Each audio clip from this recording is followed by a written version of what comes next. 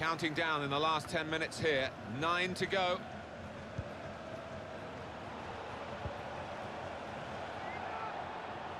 It's a good hit. Top performance from a top team, and they've emphasised their superiority with the number of goals that they've scored.